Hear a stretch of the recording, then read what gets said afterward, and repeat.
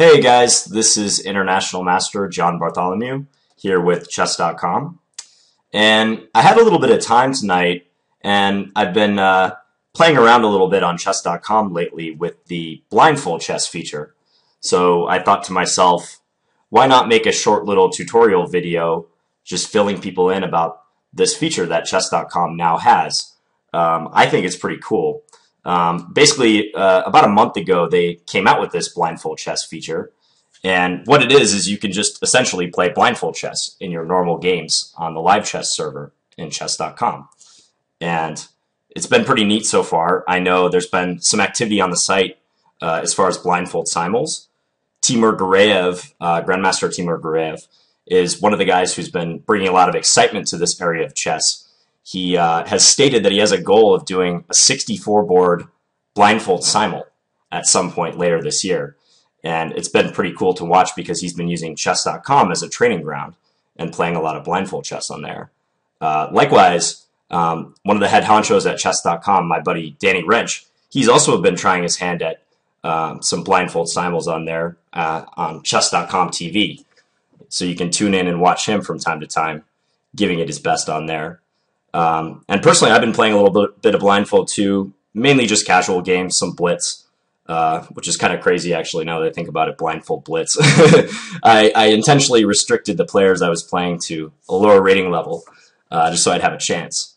But okay, enough rambling. Um, the purpose of this video is just to show you how to play a blindfold game on chess.com.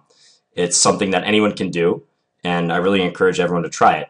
So let me just starting out here go on to the normal live chess server just to show you what the typical live chess server looks like when you have sight of the pieces. So logging in here and you can see there's already a uh, game in progress. Um, the top game just automatically pops up when you log into live chess. So these are some players playing. And as you can see, I have full sight of the board. Uh, the game looks like it's paused at the, oh, there we go. The clocks are moving for both players. But no mystery. I have full sight of the board. If I wanted to start a game, I could, you know, click on any of these dots here and start a game, and I'd have full sight of the board myself. Um, and everything's good and normal, just your regular online chess game. So now, if we go out of live chess again, and let me go over to my home, go into account settings, this is how you access the blindfold chess feature. So in account settings, you go down to live chess settings, update your live chess settings. And here where you see pieces style, right now it's on classic, there's all these piece styles. You just want to go all the way down to the bottom and choose blindfold. That's it. That's all you do. And of course, you have all these other settings you can mess around and um, put as you want. So once we've got blindfold selected, we go down here, do save settings. And now we are in blindfold chess mode. So anytime you log into the live chess server now, play live chess. Look at that, just a blank board that pops up. This was in fact the same game that was going on earlier, and now it's a new one started. Um, you can see both players are moving, as indicated by the highlighted squares, but me as an observer, I have no side of the board and no side of the pieces. So this is how the blindfold chess option is enabled here on chess.com. And just to take this a little bit further, let me show you what an actual game looks like. So I'm going to put on, let me actually do a custom seek here so I don't totally embarrass myself on camera. So I'm just going to search for a 10 minute game. Um, let me make this an unrated game. I'll just do no rating restrictions. And I'm going to start the game. And hopefully someone will click on my seek way up here. Uh-huh, as you can see, someone did. So I'm playing this guy, Sorel, rating 1061. And we're in blindfold chess mode now. Looks like this guy's connection's a little bit poor. Okay, now it's fine.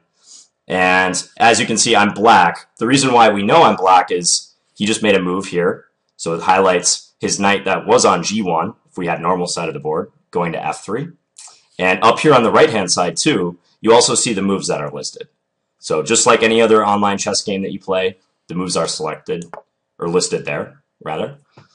And I just played pawn to d5. And as you can see, it made the move right there for me. My pawn was on d7 right here. and I just moved it there. And this is basically how the game will proceed for me. I will have no side of the board and pieces for the rest of the game. And he moved pawn to g3. We can see that right there. Now, one thing about the blindfold chess feature as it stands right now, um, your opponents that you're playing, they uh, presumably are playing with full side of the board and pieces themselves. You might be playing a blindfold chess game, but you don't know their settings. Like they could just be playing as normal. So he played pawn to d4 here. I'm going to go knight f6. Um, I don't know if chess.com is going to change this in the future. That's completely up to them, obviously. Um, to make it a true blindfold chess game, of course, you'd want to have like both players be blindfold. Um, that would be the, the most ideal thing. So he took my knight on b8. You can see the capture right there. And I'm going to take back with a rook. But as it stands right now, the only way you could have a blindfold versus blindfold game, you and your opponent both playing blindfold, you would have to agree on it beforehand somehow. So, so most of the time, if you're playing blindfold chess now, you should just be doing it to challenge yourself, because uh, chances are your opponent is playing with side of the board. So, yeah, so it's a pretty neat feature. Uh, he just played queen to d2, um, and I'm trying to talk and do this at the same time, which is adding to the difficulty. Uh, I think I'm going to go here and pin him. So he has a knight here, and his queen is behind. I'm going to pin him right here and he just castled queenside. I'm going to go ahead, bring my queen out here, just to put more pressure on his knight and his pawn on a2. Um, so yeah, this is basically what a blindfold game looks like. And I don't want to make this video super long uh, and bore you guys by sitting around looking at this blank board. But uh, yeah, I hope this encourages you to try it out on your own. Um, like I said, it's just in the account settings, and you can always go back and turn it off. There's this is not a permanent thing by any means. So you can always decide if you want to change your mind. So yeah, thanks for watching this. If you have any questions about blindfold chess, feel free to ask me or you can ask on chess.com. And I'm going to make this a little crazy and sacrifice on a3 here. Why not? It's an unrated blindfold game. And all right, well, thanks for tuning in, guys. This is International Master John Bartholomew for chess.com and hope to see you on the live chess server.